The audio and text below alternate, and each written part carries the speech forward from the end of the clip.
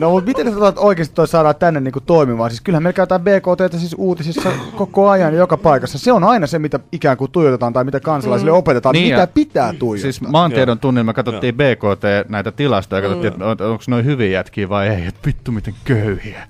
Niin.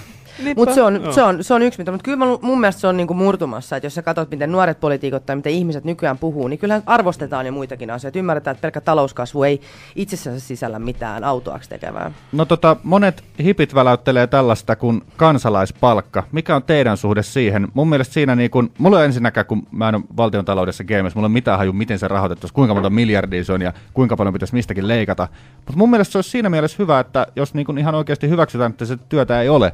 Työtön hän on tänä päivänä Suomessa ihan puhtaasti kusessa rahallisesti. Tällainen voisi ehkä sitä jeesaa ehkä siinä olisi semmoinen, niin kuin, että voitaisiin hyväksyä, että ei niitä työpaikkoja ole niin paljon ja kaikkien Joo. satojen tuhansien ei tarvitsisi olla niin kusessa, vaan sen takia, että heille ei ole sitä työtä. Joo, ja mä en siis millään tavalla kannata niin tilastoja kaunistelemalla työ, työ, työllisyyden tilanteen parantelua, mutta siinä on just se, että esimerkiksi mä kannatan ehdottomasti perustuloa. E, ja siinä on just se, että siinä, silloin meillä olisi aika monta työtöntä vähemmän, koska perustulo yhdistetty alle 10 tonnin vuositulot verottomiksi, niin siinä sulla on kaikki kannustinloukut poissa. Sitten sun kannattaa ottaa duuni vastaan päiväksi tai viikoksi tai mistä vaan, niin kun se perustulo tulee automaattisesti, sun ei tarvitse olla missään käsittelyaikojen ö, seassa, sun ei täytellä mitään lappuja, sun ei tarvitse miettiä, miten tämä vaikuttaa tuohon, miten tämä vaikuttaa tuohon, vaan sä tiedät, mitä sä teet, jos mietit luovi, luovo, luovaa alaa, jos sä mietit pätkätyöläisiä, sulla on niinku varmuus. Et mäkin on semmoinen, mä teen erilaisia projektitöitä, jos mulla olisi varmuus siitä, että mä saan sen vuokra- ja puhelinlaskun maksettua, niin multa syntyisi vielä enemmän projekteja, mistä syntyisi enemmän työtä sekä mulle että muille. Et mä uskon, että sitä kautta se lähtisi käyntiin ja se antaisi meille kaikenlaista kasvua. Mä oon ihan samaa mieltä tästä perustulojutusta ja se nyt on ollut meidän vihreitä niin tuossa puheessa aika pitkään. Ja mm. me ollaan itse asiassa laskettukin se, miten, et, et, et, miten se niin kuin rahoitetaan. Et, jos katsotaan niin kuin nykyään maksetut tuet, että kuinka paljon mm. niihin menee, jos se sama rahamäärä muutetaan perustuloksi, mm. niin siellä sama raha saadaan, onko se nyt vähän vajaa 500 sen kokoinen perustulo. Vasemmistoliiton perustulomalli mallissa se summa on vähän isompi, mutta idea on sama. Mutta idea on sama. Ja mä väittäisin, että, että tällä samalla niin kuin prosenttiosuudella päästä isompaa summaa just sen mm. takia, että se piristää taloutta, että ihmiset pystyy mm. rupeamaan tekemään töitä. No. Et samalla tavalla mä oon kuullut helsinkiläiset yrittäjät, kun ne kiroilee, että ne ei saa työvoimaa mistään. Ei pieniä firmoilla mm. ei ole ne ei uskalla palkata täyspäiväistä mm. ihmistä, mutta ne tarvitsisi jengiä keikkaduuniin. Just näin. Tähän ei voi ottaa vastaan. Mm, no onko toi tota nimi? Siis hetkinen, jos nyt saa 500 noita tuki vaikka ja vasemmista onko 600 tätä mm, tollasta, niin siis kansalaispalkka. Sehän kuulostaa siltä, että saat rahaa tekemättä tyyli mitään. Et onko se nimi sitten ikään kuin... Mutta kenen masseja ne on alun perin? Mä tiedän, no, mä, masseja. mä tiedän, mä tarkoitin vaan, onko se niinku nimi pilaamassa ehkä hyvä idea? No, sä sanoit kansalaispalkka, mm. me sanottiin perustulo. Niin, totta. Jusala aloitti tämän toinen kysymään juttu, siitä. Toinen juttu, että jokainen suomalainen, joka ei ole palkkatöissä, saa joka tapauksessa rahaa tekemättä mitään. Mm.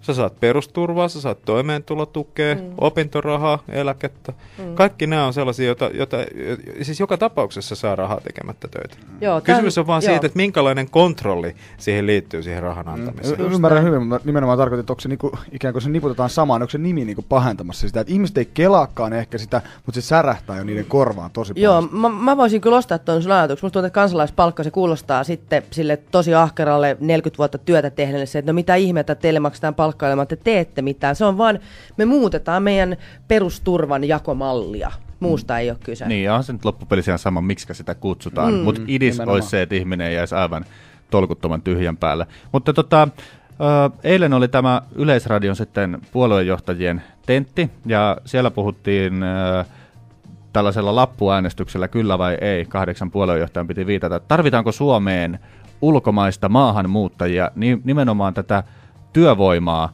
paikkaamaan ja työvoimapulaa paikkaamaan. Ja äskenhän sivuttiin sitä, että voisi ottaa helpommin niitä NS-paskaduuneja tai paskan niin kuin, tällaisia pätkäduuneja, mutta suomalainen ei halua tähän, koska se laskee, että jää enemmän fyffeä mm. viivan alle, että ota tätä vastaan. Mm. Suurin osa ö, vastasi puolenjohtajista, että kyllä tarvitsemme maahanmuuttajia paikkaamaan työvoimapulaa. Mari Kiviniemi nosti kaksi lappua ja ihmetteli vähän, ja sitten se äänestys olikin ohitse. Hän ei tiennyt, kumpaa hän tota äänestäisi.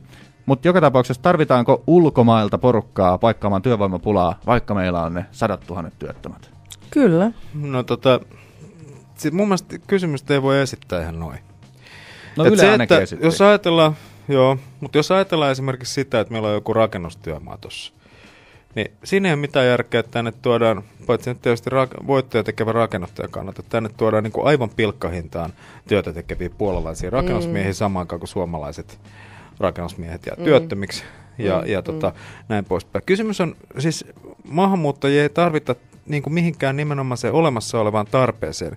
Harvassa, tietysti tietyillä avainaloilla saattaa olla työvoimapulaa, mutta ja siinä on, sit, on täällä, tämä niin, sanottu kohtaanto-ongelma, se on hirveä sana, mutta se tarkoittaa siis sitä, että on tietyn alan työttömiä ja sitten on tietyn alan, alan työpaikkoja, mm, mutta näin ei mm, yhteen. Mm.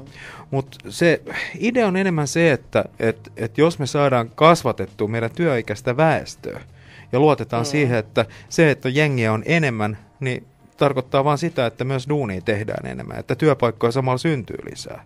Mm. Tulee uusia yrityksiä tai, ja, ja markkinat kasvaa ja näin pois. Se, tarko, se, tarkoittaa sit, se tarkoittaa sitä, että me oikeasti pystyttäisiin maksaa eläkkeet suurille mm. ikäluokille mm. ja hoitaa niiden terveysmenot. Monesti tota maahanmuuttajakysymys on vähän saanut sellaisen, sellaisen leiman, että se on ikään kuin hana, mikä avataan ja sitten sitä tulvii ja sitten jotkut pitää koittaa sen niin kuin hanan mahdollisimman tiukassa. Oh. Onko se edes vaikka siihen, että paljon heitä on Suomessa väkimäärään suhteutettuna, onko koko maahanmuuttoasia saanut liian ison leiman tässä julkisessa keskustelussa? Onko sillä niin paljon vaikutusta meidän elämään kuin ehkä saattaisi tämän mun julkisen mielestä, kohkauksen ja pelottelun kautta ymmärtää? Mun mielestä se on saanut ihan liian ison leima ja sitten musta on hirveän vaikea, kun kysytään tuolla kadulla, että mitä mieltä saat maahanmuuttajista? Mm. Niin kuin, että ai kenestä? Niistä 750 humanitaarisesta pakolaisesta, vai niistä 20 romanian romanista, vai siitä, joka muutti tänne rakkauden perään, vai siitä, joka tuli tänne Nokiaan insinööriksi? Että mistä maahanmuuttajista puhutte? Että se on niin kuin vääristynyt se koko homma, se keskustelu. Niin, jos täytyy ihan tilastoa katsoa, niin suurin osa maahanmuuttajista on tota, venäläisiä, virolaisia ja ruotsalaisia, mm. eli naapurimaista. Sitten pieni osa maahanmuuttajista on mm. peräisin Somaliasta. Onko se niin, että Suomessa on 7000 Somaliassa? Taitaa olla 8000, mutta se, ei se kyllä sen enempää nouse. Ja no, se on se no, ihmisryhmä, no. mitä me katsotaan tai nähdään mielessämme, kun no, puhutaan no, maahanmuuttajista. Eihän tuo raketti tiedä, että jos on valkoinen tuossa kaupan jonossa, niin en mä pidä sitä maahanmuuttajana. Näin, nä, nä, niin, nä, niin. näin se menee. No mutta tota...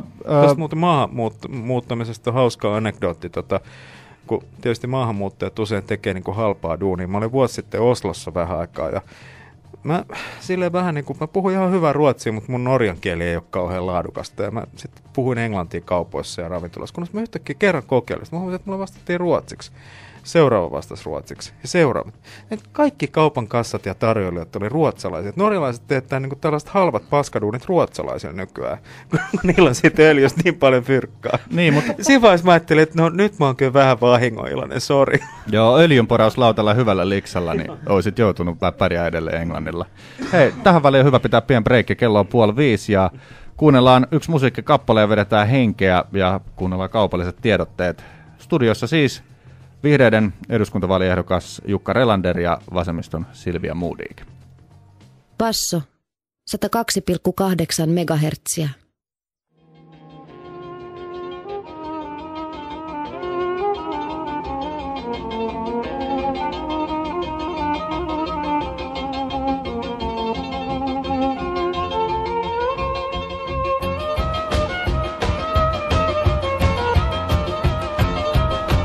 Näin The Who ja Baba O'Reilly. Tota, tää on vanha biisi 70-luvulta ja tää päättyy huudahdukseen, että Teenage Wasteland, they're all wasted. Ja tota, yksi lehti kirjoitti, että nykyään 20 on Suomen neuroottisin sukupolvi. Onko teidän mielestä nuoriso kujalla vai kehissä tällä hetkellä? Ylitään, jos nyt vedetään kyllä ja ei. Ei ehkä tarvitse vetää kyllä. Kyllä ne on kehissä. Mun mielestä ne on kas kehissä. Sitten kauheasti olla huolissa, että nuoria ei kiinnosta politiikka, mutta kyllä kiinnostaa, niitä ei kiinnosta puolueet ja siitä ei voi ketään syyttää kyllä. Mm. Niin mistä se nuoriso olisi pihalla? Mun mielestä tuntuu, että niinku mm. niinku jengi niinku nettiaikakaudella, jotka on elänyt mm. vielä sen parikymppiset, niin ne on niinku todellakin gameissa asioista. Ehkä niitä ei nyt ei aina ne samat asiat kiinnosta kuin vanhempi sukupolvi, mutta ei mun voi mitenkään sanoa, että kujalla. Kyllä mä niinku huomaan itse ajattelevani useammin, että demarit on pihalla kuin se, että nuoriso olisi pihalla. Se olisi muuten hyvä biisin aihe. Ai, They're all wasted. mistä tää, mistä tää nyt juontaa juurensa? no ei, mulla on vähän semmonen niinku kutina, että 2000-luku vielä ehtii mukaan. Okei. Okay. No täältä yksi kuulija kirjoitti, että perussuomalaiset varmaan saa jonkin verran nukkuvia äänestäjä liikkeelle, mutta ei nuorisoa mun mielestä kiinnosta nämä vaalit yhtään sen enempää kuin aikaisemmatkaan vaalit. Kyllä mä oon ainakin nähnyt, että nuoriso on tullut aika kyyniseksi tätä niin kuin koko eduskuntavaalia ja parlamenttiinstituutiota kohtaan. No siis parlamentaarinen demokratia nyt on sellainen juttu, että sen pitää lunastaa mm. oma uskottavuutensa kerta kerran jälkeen. Mm. Ja sitten kun sitä politiikkaa hoidetaan, nyt sitten Winston Churchill, politics is like sausage, you don't want to know how it is made. Niin tota, kun sitä hommaa hoidetaan tuolla, niin aina väli rupeaa näyttää tosi pahalta. Ja sitten tulee korjausliikkeitä, sitten se pitää myydä uudestaan ihmisille. Se on, se on sovitteluprosessi, jossa tehdään pitkää, raskasta ja puuduttavaa työtä. Mm. Ja se on näin. Vuoristorataan mennään. Onko nyt sitten ne ikään kuin protestivaihe tietyllä tavalla No mutta on kyllä, jengi on aktivoitunut. Siis mä sanoin, että, että mä juttelin yhden kokoomusnuoren tai nuoren kokoomusehdokkaan kanssa ja sanoin, että nyt on jotain liikkeelle, että kauppakorkeakoululaiset on jakamassa flyereita. Mä ihan sama, että mä näin tuolla autonomista ja anarkisteja jakamassa flyereita, että nyt on jotain liikkeellä. Että jos tämmöiset porukat lähtee kadulle mukaan poliittiseen työhön parlamentaarisen järjestelmän puolesta, niin sitten on kyllä jotain liikkeellä. Ja mm. sehän on terve piirre, että niin kuin poliittista järjestelmää kritisoidaan. Siis niin. eihän, eihän pidä mitään ottaa niin kuin aurinkoista kesäpäivää, että tämä on kiva, hyvä, mennään tällä. Että kyllä sitä pitää kriittisesti tarkastella ulkopuolelta ja sen poliittisen järjestelmän pitää tehdä niin kuin töitä, että se saa myytyä itsensä. Mm. Ja ehkä nyt on protestivaihe, mutta täytyy myös muistaa, että protest, niin se tulee siis puolesta toimimisesta se on puolesta toimimista. Pro. Joo, se on ihan totta. Ja sitten niinku se, että se turhautuminen siihen, että tässä kaupungissa, tässä maassa ei pysty vaikuttaa, niin sehän on aivan totta.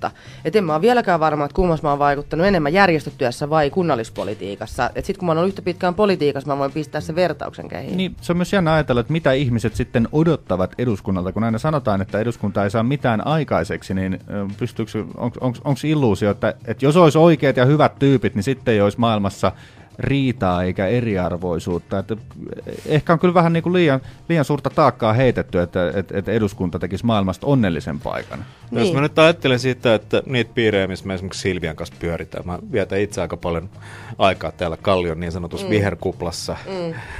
Mä oon tänä talvena kirjoittanut Tuomas Nevolinen kanssa yhdessä yhden kirjan tuossa rytmibaarissa ja, ja kohtaa niin kuin tätä jengiä. Ja sitten sit kun tulee jotain, niin kuin tuolta politiikasta tulee joku aloite, joka on niin kuin jostain ihan muusta maailmasta, niin sitten niin kuin tulee sellainen fiilis, että hei, kaikkihan on sitä mieltä, että tämä on ihan tyhmää. Mm. Mutta kun tuolla ulkopuolella on ihan muunlaisia taskuja, sieltä löytyy persutaskuja ja demaritaskuja mm. ja keputaskuja ja kristillisiä taskuja ja ties mitä. Ja, ja tota, se on tietysti, että nämä kaikki kohtaa toisensa tuolla Arkadianmäellä mm. ja neuvottelee. Ja sitten se ulostulo on aina sellainen, mitä kukaan ei kannata. Mm. Tota, nyt jos oletetaan, että te pääsette läpi, niin onko teillä pelkoa perseessä, että kun on se tällaista ideologiaa, sitten kangistuu niihin kaavoihin, että et, et niinku rupeekin ajamaan jotain. Niin kuin tässä aiemmin puhuttiin siitä, että et eka fanitetaan, että se oma tyyppi meni läpi ja sitten huomataan, että ei se perkulle saanut mitään aikaiseksi. Öö, mitä teille voisi sitten käydä tuolla Arkadianmäellä? No mun pieni semmoinen juttu kävi kyllä tuossa kunnallispolitiikkaa, kun tuli just järjestöpuolelta ja se on niin eri, erilainen maailma. Niin kyllä mä niinku eka koen, että apua, että onko mä niinku myynyt jo itteni täysin, kun mä rupesin tekemään kompromisseja. Mä rupesin oikein niinku etsimään, että mikä on se yhteinen pohja, mistä voidaan löytää tämä. Mutta se on se tapa, miten siellä saadaan asioita aikaiseksi. Et se on myös niinku osittain, että kunhan pysyy itsellensä rehellisellä, mutta kyllä niinku siellä pitää toimia sen kulttuurin mukaan, mitä on. Että ei tuo valtuustossa mitään aikaiseksi sille, että seisoisi siellä nyrkkipystyssä ja huutaisi niitä omia ajatuksiansa. Nimenomaan, että ei siinä kannata lähteä niin kaatua saappaat jalassa, mm, mm. koska silloin ei saa omia juttuja eteenpäin. Et enemmän kannattaa niin lähteä verkostoitumaan, neuvottelemaan, vaikuttamaan, Kyllä. osallistumaan siihen prosessiin ja hyväksyä se tosiasia, että mä saan omalla panoksellani tätä prosessia ehkä työnnettyä vähän tohon suuntaan, mm. mutta se ei mun ajatukset sellaisenaan ei mene läpi, se mm. on ihan varma. No onko jengillä vähän niin kuin liikaa kuva siitä, että se yksi, yksi edustaja, se jota äänestää, jos se pääsee mm. läpi, pystyy ikään kuin vaikuttaa liikaa. Sitten se pettymys onkin ehkä aika kova, jos ei se tota... Se voi olla, mutta sitten siinä on se, että, että jos asioiden pitäisi mennä juuri niin kuin minä ne ehdotan, niin silloinhan mulla pitäisi olla aikamoinen äänisaalis. Silloin se pitäisi olla se äänestysprosentti kokonaan Silvia Moodigin takana. Mutta kun se ei ole, niin silloin pitää Silvia Moodigin ottaa omissa näkemyksissään huomioon, miten Jukka Relander tämän toteuttaisi, koska me molemmat olemme saaneet ääniä sen tuloksen pitää olla silloin niin kuin meidän molempien ajatusten sovitus. Tuostahan päästäisiin jännällä tavalla niihin vaalilauseisiin, että siellä on hirveän moni sanoo, että minä tuon muutoksen, mutta ei sitten kukaan yksin voi tuoda. No sen takia ehkä tuntuu falskilta luvata hirveän paljon mm. vaalien alla, mutta kyllä mun mielestä niin kuin se, että